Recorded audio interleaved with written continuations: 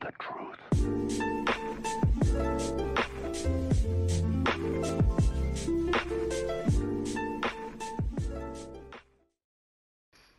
Hey guys, what's up? Green Machine Sam back with another video. And today we have season 5, episode 5 of the Los Angeles Chargers 5 year rebuild. So we have the final season here today. Uh, this was a fun rebuild overall. I think this was one of my favorites. Now, I know I say that every single time because it seems like almost every single time because, you know, it, it it's a different experience each time, but it's definitely fun. Um, every single time. You know, you get to develop new players. I, I just wish that there was more variety. I wish random dudes would just go off. Like it would pick some random dude each time to just, just like fucking dominate and become like a high 90 by end of season one. But you know that's a different story. Uh, so if you guys are new here, don't forget to like, comment, subscribe, all that fun stuff. Turn on post notifications if you guys do enjoy my content. If you guys don't enjoy my content in the future, you guys can always unsubscribe. Give me the chance. Would be awesome. Um, we're almost at 300 subs probably by the time this video comes out, we'll more than definitely be at 300 subs just for the simple fact that uh, I got some roster updates that I have to put out and then other videos because I'm pretty sure season 3 and 4 haven't come out with this and then I have four other videos that I'd like to put out that I've recorded before this so uh, this will be coming out in probably about a week or so maybe more but hey let's take a look at the team it's coming along very very nicely um, after last year's departure of multiple wide receivers and some other pieces with our team.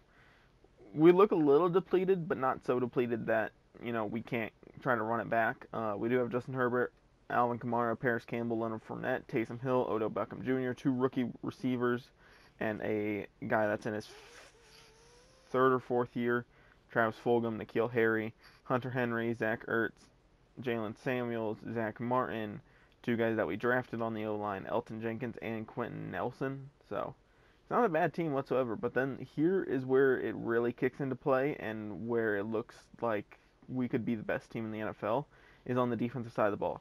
On the defensive line alone, we have Von Miller, Gabriel Butler, J.J. Watt, Joey Bosa. Uh, at corner, we have Jaire Alexander, Alexander, Rasul Douglas, Emmanuel Moseley, a rookie, and Quincy Wilson. At safety, we have Derwin James, Lano Hill, and Jaquan Johnson. At free safety, we have Minkah Fitzpatrick, Marquise Blair, and Geno Stone. At linebacker, we have Kenneth Murray Jr., Fred Warner, Zach Gannon, and a rookie. Uh, I think his name is George Stringer, that has a dev trade as well.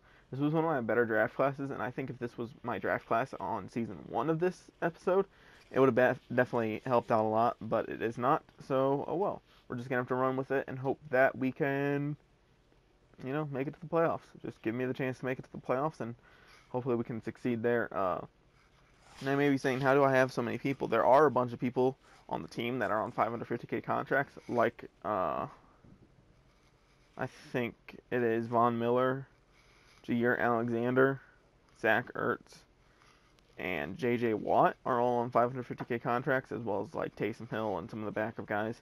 But still, like when you can get people on 550k contracts, you can basically do anything you want because it's a free player for you.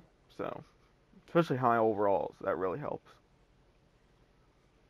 Got one of the best teams in the league, and at the midseason mark, at week eight, uh, we were doing okay, not great. Team was improving. Looks like we were three and four, or four and three. Uh, yeah, after the season, it would be tough we would lose Justin Herbert, Zack Martin, J.J. Watt, Von Miller, uh, Arden Key, Kenneth Murray, Zach Ertz, Taysom Hill, Josh Sweat, Junior Chapman, and another player. Um, so, yeah, even if I wanted to go another year, we wouldn't be able to. Uh, I do end up re-signing Justin Herbert just for the simple fact that if for some reason I ever come back to this, at least we have him. Kenneth Murray would be another guy because he is a staple of the team and because he is a Charger at heart. We brought him in at the organization brought him in as a rookie, and he's been here the whole time, and he is slowly progressing to one of the best linebackers in the league. Granted, we don't have much money, but hey, we will end up bringing him back at some point.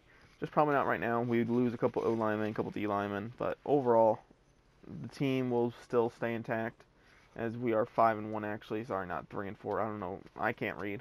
Um, we are the number one seed going into the playoffs, which is great. Uh, especially since number two seeds no longer get a bye, which kind of sucks because you're like, oh, I'm the two seed, I did good.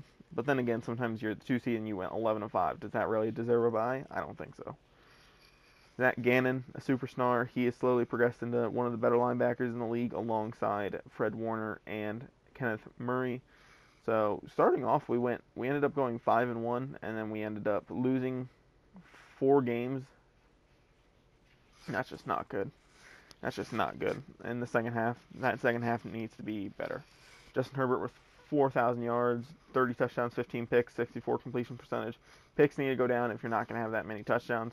Alvin Kamara with 1,500 yards, 15 touchdowns. Parris Campbell with 400 yards, 4 touchdowns. Leonard Fournette with 240 yards and 9 touchdowns. So the run game wasn't terrible. It definitely wasn't great, especially from Parris Campbell's perspective. Uh, I know I have him just strictly back there as a receiving back, but hey, you know, you got to perform when you get the ball. That's the biggest thing. Hunter Henry with 1,000 yards. He was only one yard away from having 11 11. Seven touchdowns, almost 1,000 yards for Beckham, seven touchdowns. Sample and Tap combined for just over 1,000 yards and 10 touchdowns. Ertz with 232 yards and three touchdowns. So even he got in a little bit as that backup tight end position normally does. Uh, sacks are, you know, like always, high. Dogs for loss, Von Miller 13, Gabriel Butler 10, Kenneth Murray 9, JJ Watt 9, Joey Bosa 8, Fred Warner 7. So, sacks 9.5 for Von Miller, 7.5 for Kenneth Murray, 6 for JJ Watt, 5.5 for Gabriel Butler, and 5 for Joey Bosa. So, a step back. Um, it doesn't help that we do have three veteran guys that are. Uh, Joey Bosa, I think, just started regressing, and Von Miller and JJ Watt have been regressing for about three years. But, hey, you know, it, it still wasn't a bad season, I don't think. Interceptions two for James, two for Fitzpatrick, two for Alexander, one for Murray, one for Warner, one for Douglas. Um, yeah, you know when your team can create, and one for Applewhite. When your team can create turnovers, it always helps. Uh, defense wins championships, but the only way defenses win are with turnovers nowadays. They don't win by you know stopping the run. They don't win by you know doing all this. They win by creating turnovers and not allowing points. So the bend but don't break mentality of the NFL nowadays. One blocked kick for Arden Key. Two safeties, one for Murray, one for somebody else. One touchdown for Applewhite and Alexander. So we did create points off turnovers as well.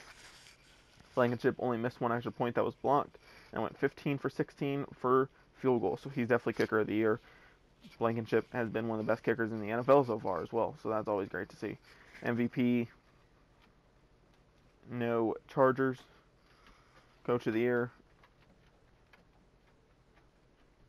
We're not even up there. No, we are at 8, 11, 5. I don't know why I'm tired. I'm always tired when I'm recording for some reason.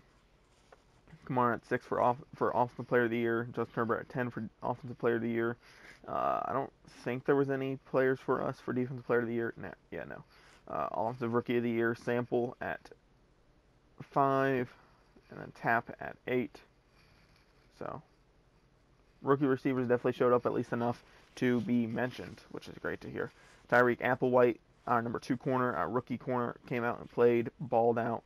He will win Defensive Rookie of the Year. Stringer, our backup middle linebacker, went at eight. So it's always good to see.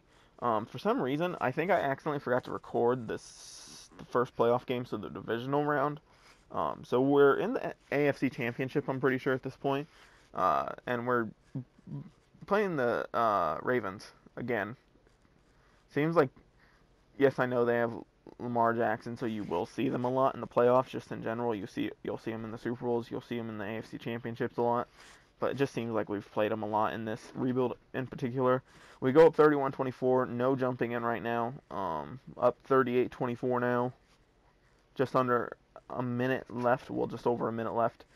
131 left on the clock. 45-24 now, and we will end up winning the game 45-24 at our home stadium. Moving on to the Super Bowl. Kliff Kingsbury, you can go suck one. Justin Herbert proves once again that he's probably the best quarterback in this draft draft class so far, um, both in real life and in here. They may be saying, "Well, Joey Bur- Joe Burrow has been looking real, real good." Yeah, but he's injured now, and Tua hasn't put up particularly great numbers, but then again, you can't say that's Miami system right now is not throwing the ball a ton with him. but still, uh, Justin Herbert still looking like one of the best quarterbacks in the league. How do we? So we scored a touchdown at zero seconds, and we had to kick the field goal in the second quarter. Then, because said we scored one point in the second quarter. That's hella weird. I, I really haven't ever seen that. Yeah, we just dominated. One takeaway, 335 passing yards, and over 115 rush yards. You're gonna win games doing that. In the Super Bowl now, we're up 30 to nothing late in the fourth. Didn't play the game, so didn't feel like showing the whole simulation. Um, I felt like hopping in, just playing some defense, I guess. Oh wait, no, we were returning it at this point. Um, I just felt like hopping in real quick, just for a little bit. And what I like doing here is I normally pitch it back. I normally like pick it up and pitch it real quick try to like do some stupid shit, but uh, couldn't get it off there. So. So let's just simulate the rest of the way. 37 to 7 is our final score. We win a Super Bowl. And uh, well, it's time to say goodbye to the team. Uh, this team was a very good team. I think we put it together very, very well. We had one of the best free agencies I've ever had in terms of just pure talent that we brought in from one free agency. We brought in Fred Warner, we brought in Jaire Alexander, J.J. Watt, Baker Mayfield, Zach Ertz, uh, I think David and Njoku at the same point as well, and a couple other pieces. So we definitely put together a team that would have lasted a long time. But the fact of the matter that it it is only a five year rebuild, and you know once you're done with those five years, you're done, and you have to go to a different team. It seems like I kind of want to do something uh, especially for the like next 20 year rebuild once I'm done with the Washington football one, is that I'll have coach firing on so I can get fired if I play bad or if I put a bad team out there and do bad. I think that'd be cool. Um, or whatever, but as of right now, we're still working on the two uh, series at hand, which is the Washington 20 year rebuild and Carolina Panthers franchise, as well as any, and all five year rebuilds that I feel like doing. Fred Warner's up there, Justin Herbert, Alvin Kamara, and somebody else. I think Derwin James. I think I would have put Justin Herbert, uh, Hunter Henry, Joey Bosa, and Kenneth Murray up there. And if I had to put a fifth, I'd put Derwin James up there. But So yeah, those were our free agents. These are our free agents going into the next season if we really wanted to do another season. But having negative six million, not really knowing what to do, I would probably have to end it here no matter what. Because we would kind of go into a rebuild. I'd have to get rid of basically all wide receivers, get rid of some of the skill position players. Uh, at this point, they finally did put in, you know, the retiring section in the uh, regress system. But I I don't know. Do you guys like the regress system, the progression trait regress? Because I don't like it. Because anytime a rookie performs well and gets like superstar, he automatically loses it, which is really weird. Uh, so, and that's something you'll see on Detroit Lions rebuild that's coming up soon. But still, thanks guys for the support. We're over 300 subs probably at this point. Uh, I'm recording this beforehand. I thank you guys for the support. You guys have been awesome. I really do appreciate it. I'll see you guys in the next video. I hope you guys enjoy this type of content. I hope you guys enjoy all the content on the channel. Give me a chance, and I will hopefully surprise you, and hopefully you guys will enjoy all of the content here on my channel. New roster updates should be out. So that being said, don't forget to like, comment, subscribe, all that fun stuff. Turn on post notifications.